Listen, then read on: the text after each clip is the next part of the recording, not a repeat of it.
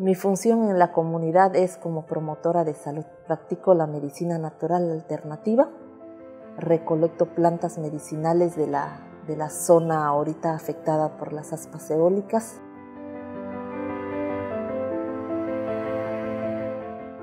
Nosotros como cuchitecos somos ismeños, somos dueños del aire, de la tierra, del mar, del agua y de los terrenos comunales. Hemos revisado la información de las empresas transnacionales con una sarta de mentiras de que nuestra tierra no es fértil.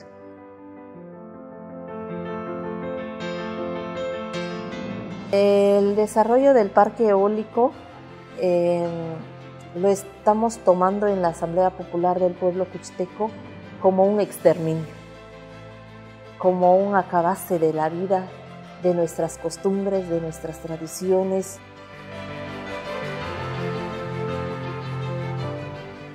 La tierra, cuando es de un tribu o de una raza, de una cultura, si nosotros tenemos nuestra historia, nuestras raíces, en estas tierras, eh, somos nosotros los dueños.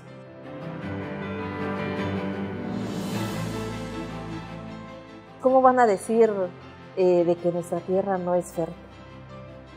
Si la palabra iguya, así en zapoteco iguya, es algo eh, que significa la humedad.